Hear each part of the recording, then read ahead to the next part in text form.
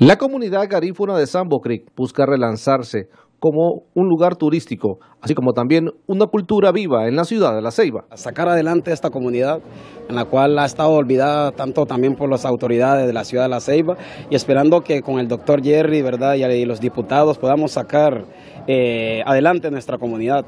El trabajo, el lema de este nuevo patronato es hacer algo diferente, ¿verdad? Por esta comunidad de la cual eh, ha estado un poco retrasada. Entonces nuestro trabajo es eh, sacarla adelante, ¿verdad? De ese hoyo en el cual hemos estado.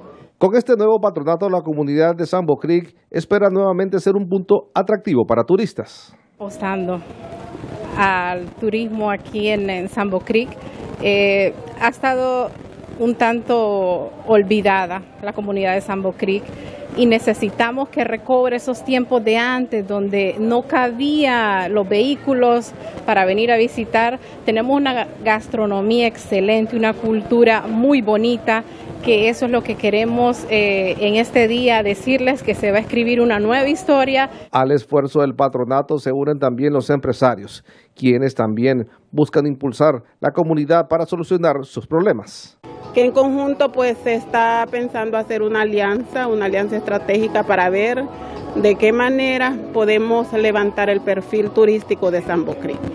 Dentro de las necesidades que tenemos para levantar este perfil turístico de la comunidad de Sambo Creek, estamos hablando del arreglo de las calles, básicamente, ¿verdad? Eh, que cualquier persona que venga con su, con su auto eh, piensa una, dos y tres veces, ¿verdad? Para poder llegar hasta, hasta lo que es las playas de, de Sambo Creek, que es donde nos concentramos. Ahora hay un nuevo patronato en la comunidad de Sambo y queremos aprovechar tu medio para invitar a la gente de, todas partes que, que ven tu canal, que vengan a pasear a Sambo Creek, ya que nosotros estamos preparando algo bueno para este verano y yo creo que la gente tiene que acercarse de nuevo a Sambo Creek, ya que nosotros tenemos muchas cosas que ofrecerles ahora. Muchas cosas. ¿Qué se ofrece acá? Pues aquí nosotros eh, estamos trabajando fuerte, casi todos los comerciantes estamos unidos trabajando, poniendo un granito de arena cada uno. Y ya como todo el mundo sabe, por aquí es el trampolín para viajar a Cayos Cochinos, que a la gente le gusta mucho ir a Cayos Cochinos. También aquí está el Canopy, tenemos aguas termales, tenemos buenos restaurantes aquí en la comunidad de Sambo.